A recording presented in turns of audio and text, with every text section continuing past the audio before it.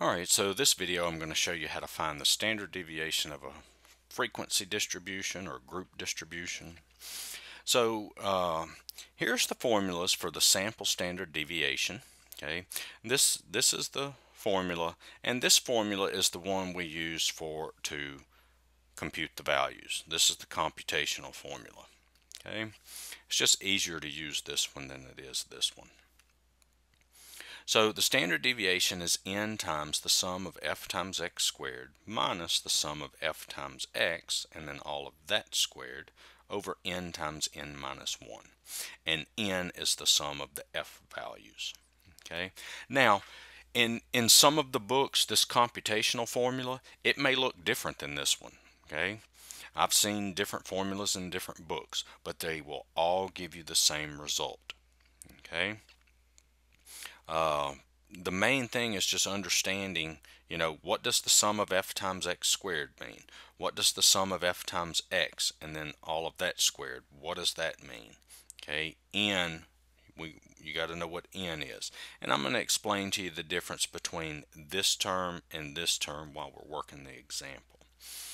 All right, so let's let's come over here and look at our example. And I just I already got the formula written here so we can uh, look at it a little better. All right, so now let's uh, let's fill this table out and see what we get. Well, let's see what we need first. Okay, so we need the sum of f times x.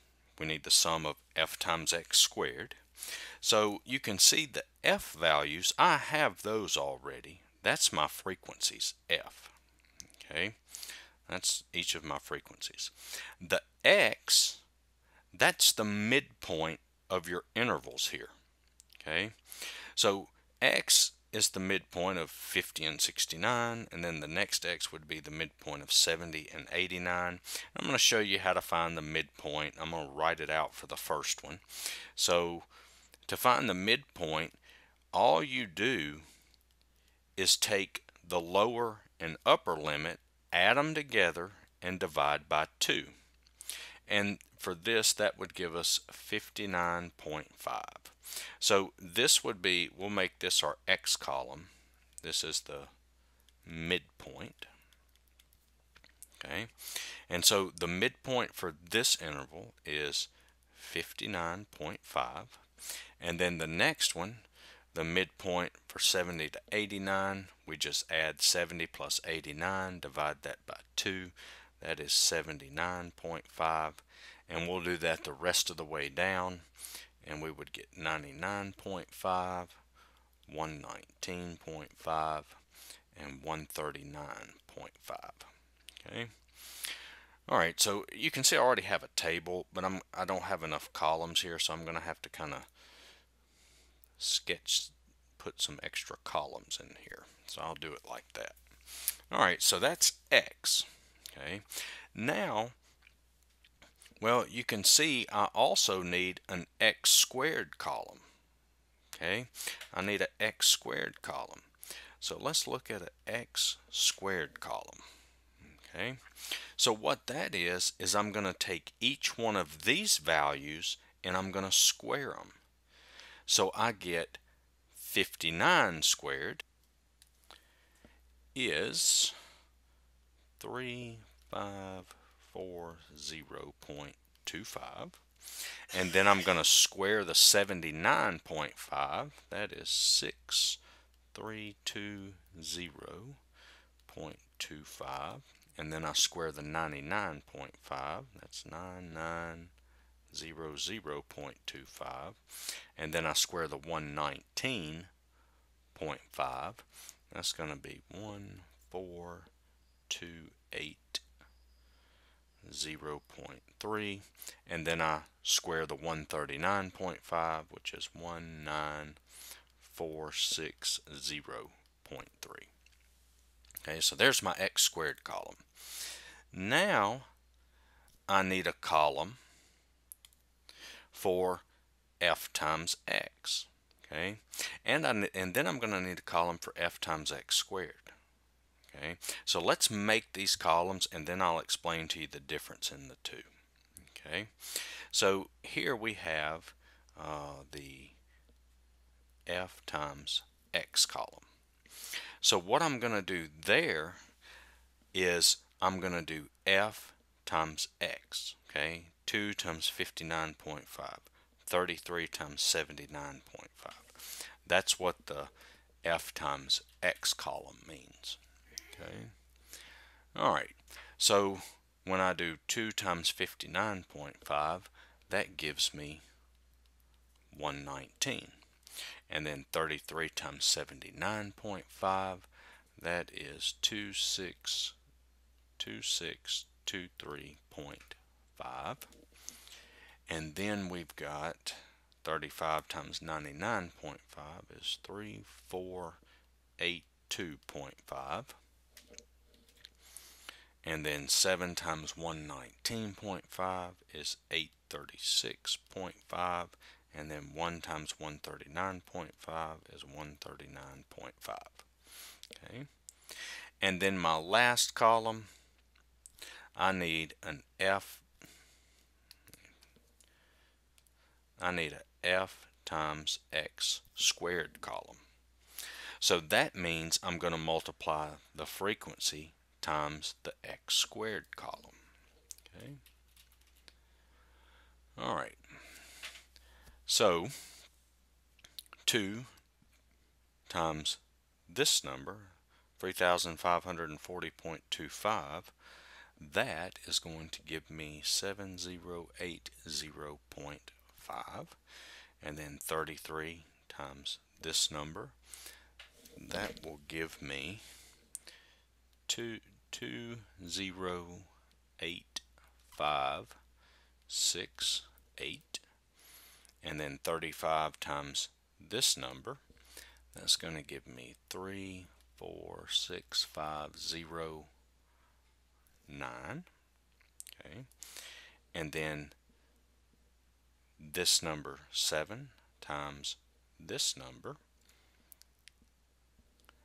that is going to give me uh, nine nine nine six one point eight. And I, I know that these are point threes. They should be point two fives uh, I just noticed that. But I mean I got these numbers in Excel so I could go through them quicker and it looks like Excel rounded them to one decimal place so. But you know that's fine okay as long as we're understanding the method. And then I've got this number times this number which that's going to be 19460.3 okay all right now let's okay. And I tell you what I'll do is let me go ahead and let me go ahead and fix these rounding these rounded values okay uh,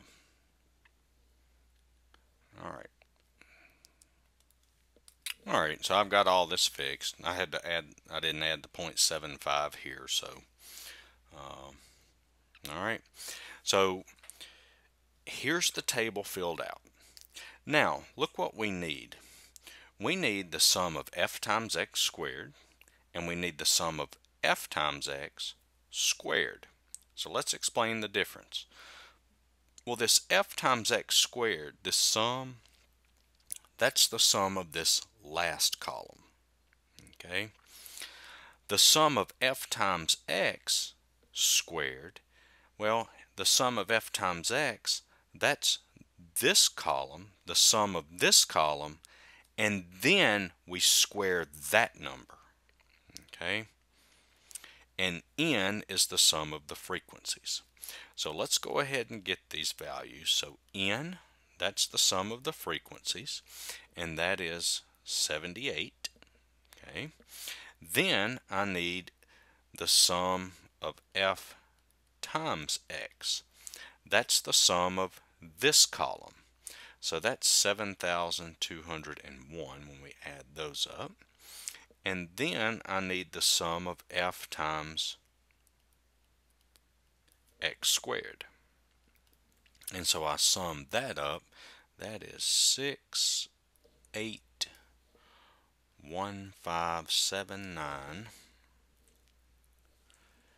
0.5. And it looks like I got everything in the, on the screen. All right. So now all we do is we plug these values into the formula. So this is going to equal, okay, n, which is 78, okay, times the sum of f times x squared, which that's this number, 6815579.5, minus the sum of f times x squared. So the sum of f times x is 7201, and then we square it over n, which is 78, times n minus 1.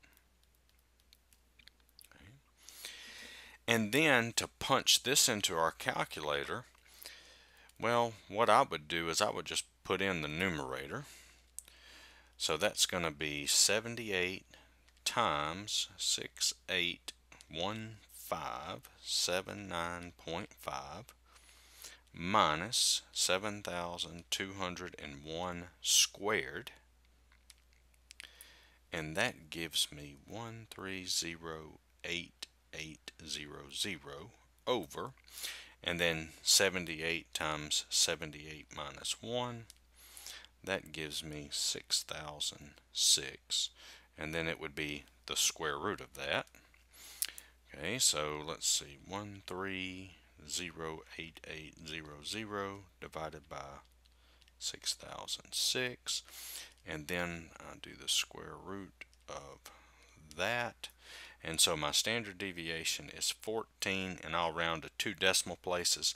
Uh, actually all the all the decimals would be 14.76195847 okay? All right. And assuming I didn't you know copy one of the calculations down incorrectly then you know there's your standard deviation. I think I got them all right though. Uh, but the main thing is the procedure. Okay, it's easy to punch something in wrong on your calculator, but anyway, hopefully you get how to do this now. So, and hopefully it helped. Uh, give me a like, subscribe, share, and thanks for watching.